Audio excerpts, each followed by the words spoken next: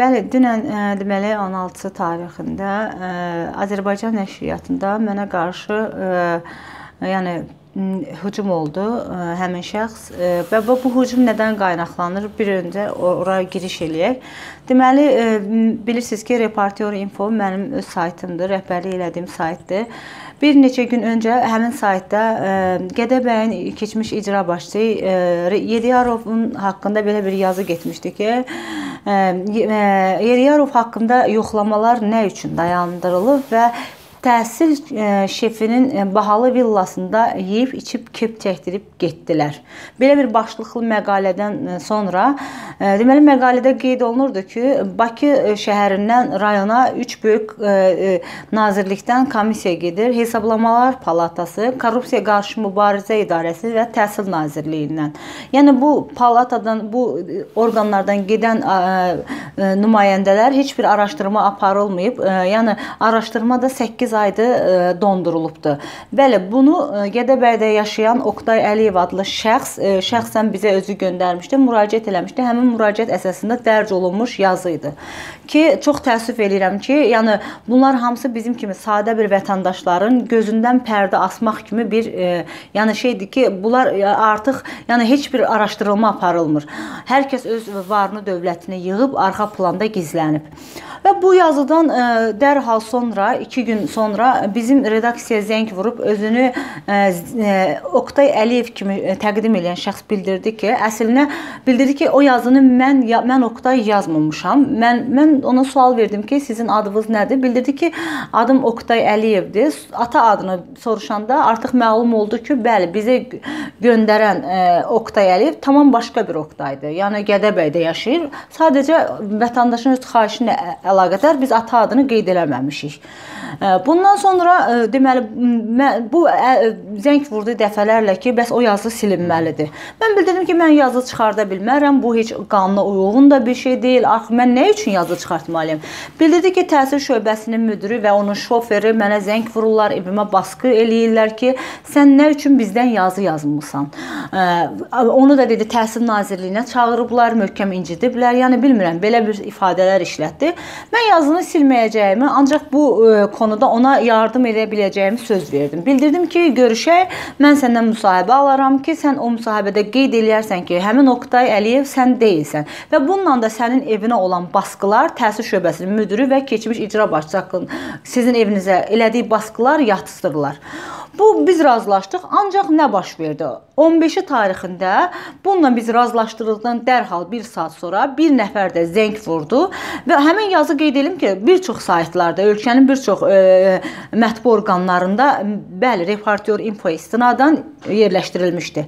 Və zəng vurdu tanımadığım bir nömrədən bir şəxs məni təhqir elədi, ata-anamı təhqir elədi, mənə ağır ifadələr işlətdi. Və mən bunu bəli, biraz əsəbləşdim, pis oldum, gərginlik yaşadım, ancaq mən e, yenə də dedim ki, olan bir şeydir. Bizim yəni tə, belə baxanda əslində təbii bir şey yoxdur orada. Normal e, ölkədə jurnalistlərin haqqları qorunan ölkədə telefonuna belə bir zənglər gəlməməlidir. Və görün e, harım məmurlar, xırda məmurlar nə qədər harınıyıb ki, onların göndərdiyi belə adamlar artıq bizim həyatımız belə bunların əlində bir oyunçağa çevrilib. Yəni bu dəfələrlə mənim başıma gəlibdi. Başqalarını deyə bilmərəm, şəxsən mənim başıma gəlib. Və bundan sonra nə baş verdi? Dünən mənim telefonuma zəng vuruldu həmin Oqtay Əliyev adlı şəxs yenidən ki, bəs biz görüşəcəyik. Mən dedim ki, bəli, biz görüşəcəyik. Dedim, mən səni Azərbaycan nəşriyyatında gözləyirəm. Dedim, gözlə gəlirəm. Və mən gedən dedi ki, əmim oğlu da burdadır. Mən bildirdim ki, axı mən sənin əmin oğlunla görüşmək istəmirəm. Və bir neçə jurnalistin adını da çəkdi ki, onlar da mənim yanımdadır. Hətta onlar da mən də telefonla danışdılar ki, qorxma, narahat olma, görmək istəməsən də o səndən üzr istəmək istəyir. Dedim, üzrü də lazım deyil, istəmirəm. Mən gedəndə nə baş verdi? Nəşriyyata getdim, həmin mən dəvət edilən otağa getdim və otaqda ə, e, mən Oqtay ə, e, Əliyevi deyil, mənə ə, e, söyüş söyən, ağır ifadələr işlədilən şəxs gəldi. Və gəldi mənə ə, üzr istəyəcək adı deyilmişdi əslinə. Mən də tam Oqtay Əliyevin söhbəti üçün getmişdim. Və başladı mənə dedi ki, sənin burada bunlara qurban ol, saçından tutub ə, keçmiş icra başçı Yediyarovun və ə, təhsil şöbəsinin müdiri Baxış müəllimin ayağından öpməyə aparacağam. Hə, bəli, belə dedi. Və bildirdi ki, mən səni burada öldürərəm də, qanını da batıraram. Ona görə ki, dedi, mənim üzərimdə 2 dənə mən müharibə veteranıyam və qantujam və bunu həkimdən təsdiq edən sənədim də var. Və burada mübahisə yarandı. Bəli, öz növbəsində mən buna cavab verdim və bu stolun üstündəki stəkan hətta cibindən nəsə çıxardıb məni vurmaq, səni küçədə öldürəcəm, burada öldürə bilməsəm də mübahisə yarandı. Səsküy Azərbaycan nəşriyyatını artıq bürümüşdü. Və Azərbaycan nəşriyyatında sağ olsunlar, oranın polislərin üçü də həmin vaxt simində idilər orada. İşte özlərini çatdırdılar, bu adamı tutdular. 3 nəfər polis inanırsınız onu ə, bax qarın hissəsindən tutub güclə saxladılar ki, bu insan əldə dayanmır. Hətta bunu tutublar, yenə başlayır ki, ki, öldürəcəm, buraxın məni, onu öldürəcəm. Belə bir ifadələr. Onu otağa apardılar və mənə mənə bildirdilər ki, sən artıq polisə dəvət elə bura 102 e, xidmətinə zəng vur, məlumat ver, bura polis gəlsin, sən izahatını ver. Mən də dərhal 102 xidmətinə məlumat verdim. Sağ olsun 18-ci bölmənin polisləri gəldilər və mən getdim izahatımı yazdım orada, e, ərizəmi yazdım, amma izahatımı yazmamışam hələ. Bu gün gedib yazmalıydım. Hələ zəng vurulmayıb. Yazdım, bildirdim və orada hətta zəng vurdu, tədqiqatçı zəng vurdu ki, həmin şəxsə Əli deyilən o mənə hücum edən şəxs Əlidir adı bildiyim qədər. Dedi ki, sən onu dəvət elədilər sivil qaydada polis idarəsinə. Hətta orada nalayiq ifadələri işlətdi telefonda. Tədqiqatçıya belə ağır ifadələr işlətdi. Və o tədqiqatçı bildirdi ki, e, sən gör nə qədər, yəni mən sən üzünü belə görmürəm. Yəni onun hansı e, məqsədli, hansı məramlı, necə bir insan olmağı, necə bir insan olmağı de, deməli onun artıq görsənirdi. Və bundan sonra mən e, təbii ki, qanun çərçivəsində öz şikayətimi bildirəcəm. Sizə də təşəkkür edirəm ki, gəlmisiniz e, məndən müsahibə alırsınız, bunu ictimailəşdirilməsinə kömək edirsiniz. Bəli, mən e, heç 102 xidmətinə də məlumat verməyəcəydim. Çünki e, mən dəfələrlə olub ki, bizim başqa bir proseslər olubdu. Mən məlumat vermişəm. Heç də düzgün araşdırma aparılmır. Mən burdan fürsətdən istifadə edib cənab Ramil Sübova buradan demək istəyirəm ki, cənab Ramil e, müəllim, e, siz e, bəli, bizim qanunlarımıza söykənən bir insansınız. Mən şəxsən sizə böyük hörmətim var. Amma bəzi bəzi polislər polis adından sui-istifadə eləyirlər. Biz jurnalistləri qorumaq əvəzinə onların haqqlarına girirlər, haqqlarını, hüquqlarını tapdalayırlar. Hansısa bir məmurların, yəni baskılarını, baskılarına bir növ şərait yaratmış olurlar. Şəxsən mən burdan ona xahiş eləyirəm ki, bununla bağlı elə 18-ci bölməyə də göstərişlərini versin ki, bizim gələcəkdə də hüquqlarımız tapdalanmasın. Yəni artıq məmurlar, məm kiçik məmurlar, ha, böyük məmurlardan söhbət, artıq təhsil şöbəsinin müdiri kimi məmurlar deməli bizim evlərimizə belə girirlər bizim yəni bu vəziyyətdə salırlar. Bizim hüquqlarımız, haqqlarımız pozulur. Axı bu gün mənim hüququm pozulursa, mən özünüz də bilirsiniz ki, sosial problemləri çəkib işıqlandıran bir jurnalistəm.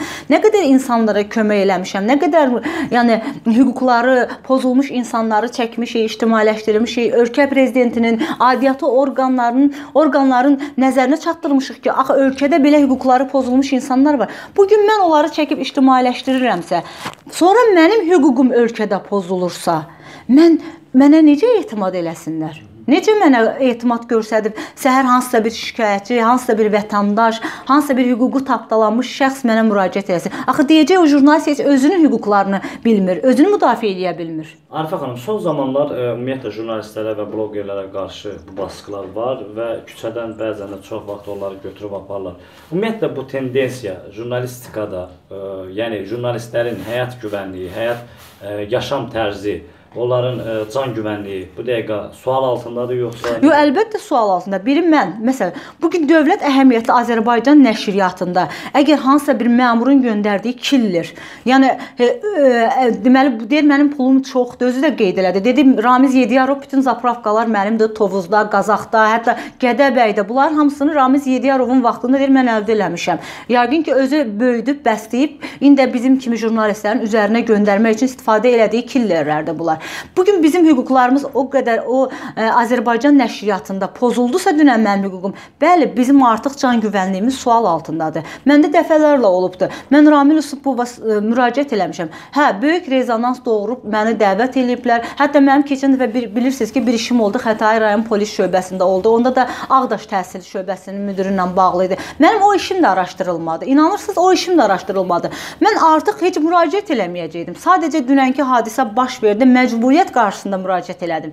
İnanın ki, yenə də elə bilməyin ki, mən güvən deyib fikirləşirəm ki, hə böyük bir irəliləyiş nəsə əldə eləyəcəm. Eləməyəcəm. Yenə də bu nəticəsiz qalan bir proseslərdən biridir ki, yenə səhər eyni proses 5 gündən, 10 gündən, 1 aydan sonra yenə bizim başımıza gələcək. Mən burdan çox xahiş edirəm aidiyyatı qurumlar ölkədə 5-10 dənə barmaqla sayılacaq qədər azad mətbuatı yaşadanlar var. Yəni sosial problemləri işıqlandıran jurnalistlər var. Bu gün çoxlu pullar ayrılıb bəslədiyi jurn bəslənən jurnalistlər var ki, onlar insanların haqqlarını, hüquqlarını müdafiə eləmirlər. Özləri üçün yaşayırlar. Öz onlar e, evlər alır, qrantlar alır, maşınlar alır, özləri üçün yaşayırlar. Amma biz can güvənliyimizi ortaya qoymuşuq. Mən şəxsən qadın olaraq bir qadın olaraq, ana olaraq inanın ki, hər gün evə gəlib sağ-salamat çıxdığım üçün Allaha şükür eləyirəm ki, mən gəlib sağ-salamat çıxmışam.